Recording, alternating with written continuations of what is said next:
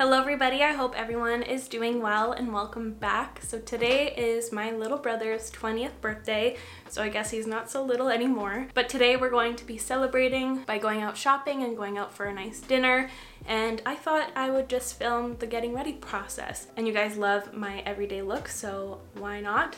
So before we get into today's video, I'd love for you to subscribe if you aren't already. It means so much to me and let's get to it. So I'm first going to apply some primer and I want to use this one again, the Tatcha The Silk Canvas, the liquid version.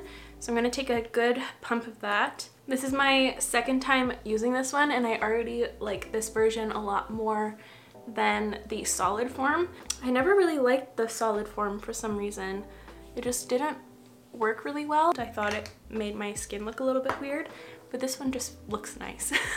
Now for my foundation, I want something I can rely on, and this is the one that I've been relying on recently. It's the Giorgio Armani Luminous Silk Foundation. I use two shades depending where my skin's at. I use either 5.9 or 4.5. I'm going to go with the shade 4.5. And this is a NARS brush. It doesn't have a number or anything, but it came out in one of the recent collections, I believe. And since today is going to be very, very warm, I'm going to be spraying my face throughout the makeup application with some setting spray. This is the Milk Hydro Grip Set and Refresh Spray. So now for concealer, I'm going to be using the UOMA Beauty Stay Woke Concealer. I'm using Fair Lady T1.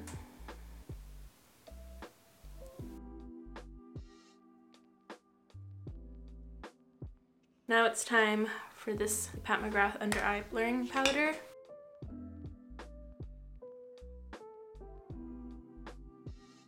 Now to bronze, I'm going to be going in with my Fenty Beauty Cream Bronzer in the shade Butter Biscuit. Finding it hard to believe that my brother is 20 years old. It's really weird. Feels like life is going fast right now. It's weird. I don't like it. But it's exciting because he's going to be moving in with me temporarily because my parents are doing like a full house renovation soon here. So he's gonna take up my basement for a couple of months and I am very, very excited. I have not seen him like at all this summer. He's just been working at the golf course and I'm excited to spend more time with him again. This was such a great decision. This color is perfect for where my skin's at right now. Now for my highlighter, I'm going to be using MAC Hush. It's a cream color base. This has been heavy on my mind recently. I'm really ready to get more tattoos. I took like a three or four year hiatus from getting any more. When I was living in Vancouver, there was a tattoo shop like right down the street from my apartment and I feel like I would go when I was just bored and just get random tattoos and I miss that and I want more. I've been planning a few for a long time, kind of bigger pieces, and I've just been waiting to see if it's something that I actually want and if it sticks with me.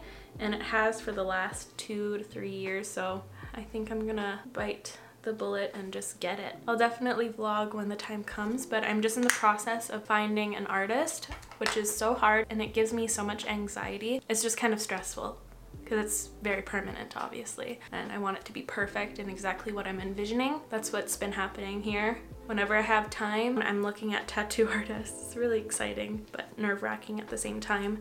Now for my blush, I'm going to be using the Melt Cosmetics Sandy Cheeks Cream Blush Light and this is a Quo Beauty foundation brush. I thought this was a different color. I don't know if that's what I was wanting today. It's far too orangey peachy for what I had in mind. I'm gonna try to take that down with my foundation brush. Since I still have that orangey peachy hue, I'm gonna try to add this Fenty Beauty Rose Latte color and hopefully the two shades together will kind of create what I had in mind. It's always the days that I'm pressed for time that I mess up. Always happens that way. That's better. I think my camera is slightly overexposed, so sorry about that. I think it was still okay. Um, you can still see things, but this is better. You can see the colors more accurately. I was wondering what was going on. I was like, I have neon orange cheeks in my viewfinder. Now I wanted to add faux freckles today. It's been a while since I've done this. I'm just in the mood for a few faux freckles.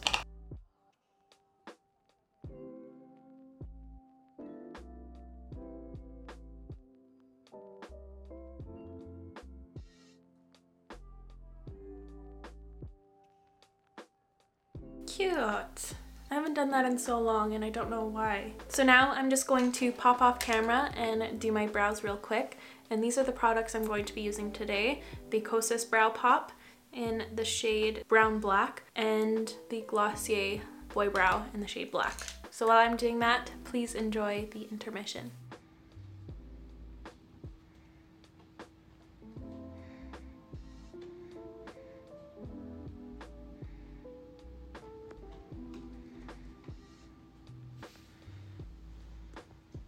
Okay, my brows are on. I'm feeling better and better as we go on. I'm liking how things are going. And yet again, I'm going to take some setting spray before I go into eyes. I don't like spraying setting spray after eyes because I always find that it creases my eyeshadow no matter what. For my eyes, I want to do something very, very, very soft. So I picked up my Nabla Side by Side palette. I haven't used this one in a hot minute and I miss it dearly. So I think I'm just gonna use like these two boring shades right here, Halftime and Beauty Mark. I'm gonna start with Halftime and I'm gonna put a little bit of this in the inner corner and on the outer as well. And I'm gonna grab a different brush to put some in the crease.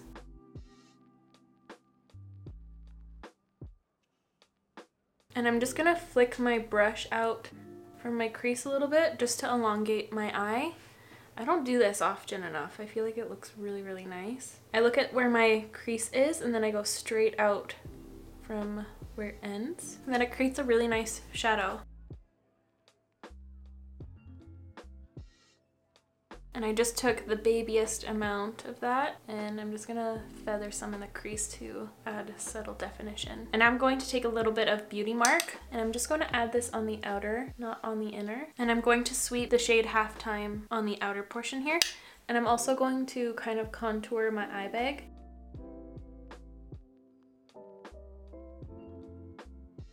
Last thing I'm going to do with shadow is take a flat fluffy brush and I'm going to take the shade Bonjour Bonjour, bonjour, bonjour, bonjour, bonjour.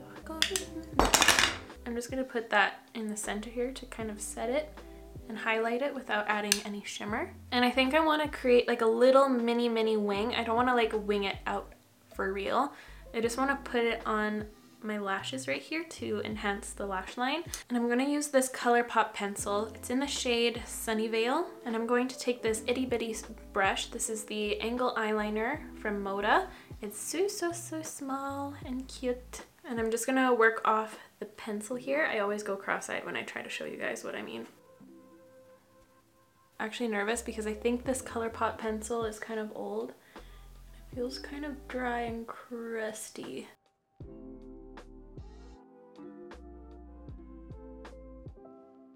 So here's a good look at the eyeshadow look, just very simple and soft. I think this would be really cute for a wedding. It's very just naturally enhancing.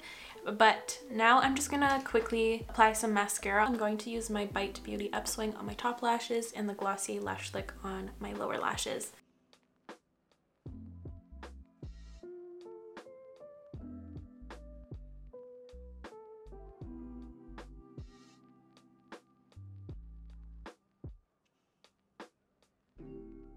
And I'm going to add a touch of highlight right in my inner corner.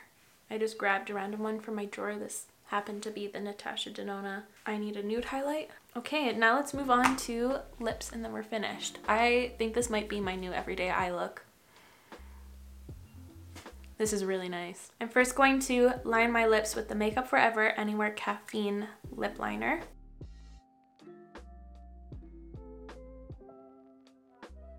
And I'm just running my finger along the edges so it's a little bit more blurred. I might go in with a little bit of this Devoted to Chili shade from MAC. It's the Powder Kiss.